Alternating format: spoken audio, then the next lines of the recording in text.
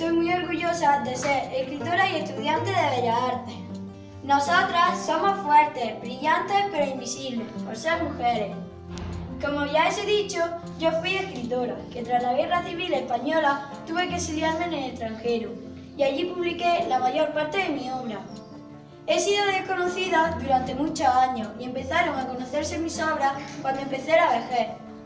En 1987 me dieron el premio de las letras españolas. Me llamo Maruja Mayo y soy una sin sombrero. Soy muy famoso. Pinto también como Dalí y Picasso. Es una pena que aquí en España no me conozcáis, pero en Argentina y en Nueva York soy muy famoso. En Argentina y en Nueva York estuve 25 años pintando, dando clases y creando y haciendo nuevos amigos. Yo soy Concha Méndez, una sin sombrero. No lo voy a creer, pero soy una aficionada a los deportes, a la gimnasia y a la natación. He ganado varios campeonatos de, de natación y además escribo. Estas son mis dos grandes pasiones. Ahora os voy a decir un pequeño poema. Los brazos, los remos, la quilla, mi cuerpo, timón, mi pensamiento. Si fuese sirena, mi, canto sería mi verso.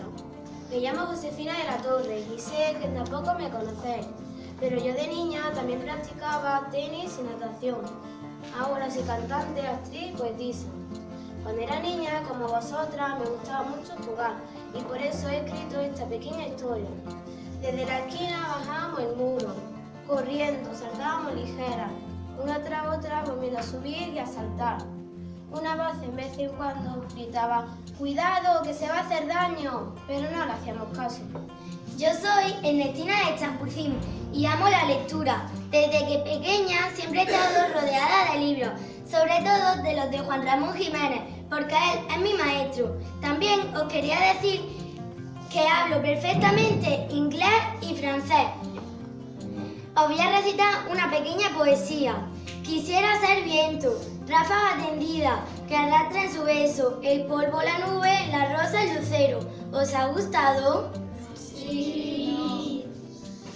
Me llamo María Zambrano, malagueña y pensadora universal, y tengo la suerte de ser una de las pocas mujeres que van a la universidad.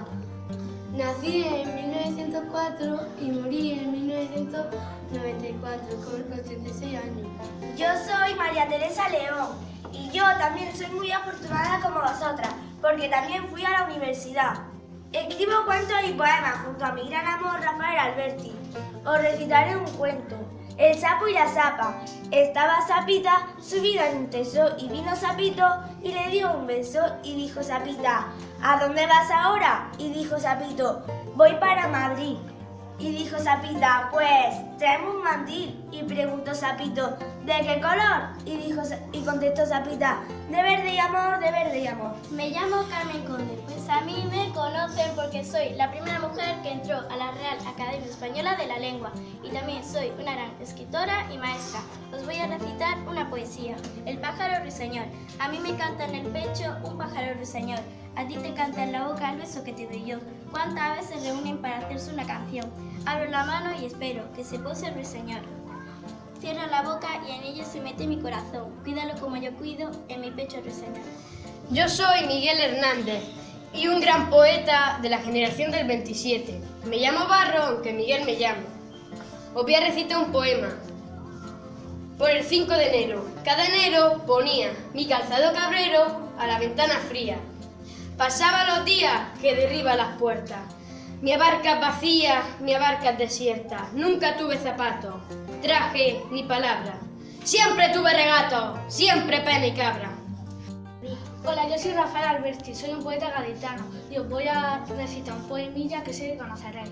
Se equivocó la paloma, se equivocaba, por ir al norte fue al sur, creyó que el trigo era agua, se equivocaba, que el agua era el cielo, que la noche, la mañana, se equivocaba. Yo soy Federico García Lorca, el poeta y dramaturgo granadino más universal. Os dedico este poema que habla del río Guadalquivir y de los ríos de Granada. El río Guadalquivir va entre Naranjo y Olivo. Los dos ríos de Granada bajan de la nieve al trigo. ¡Ay! Amor que se fue y no vino. El río Guadalquivir tiene las barbas granates. Los dos ríos de Granada, uno llanto y otro sangre. ¡Ay! Amor que se fue por el aire.